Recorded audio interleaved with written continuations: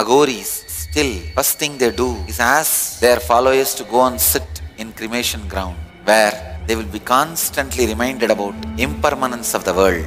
They only know one thing, simply do it. They straight go and sit in the cremation ground, gaze at the dead bodies burning. I tell you, when you see a dead body burning, the cholesterol, the stomach dripping, every muscle burning, you will literally feel a tremendous peace. When I came face to face with my death and ready to go with it, nothing else can touch. Sit in the cremation ground, watch dead bodies burning, understand the emotions you go through, and accept the death is going to happen to you also in the same way. I tell you, if this one thing is done to the next generation, they will become new generation.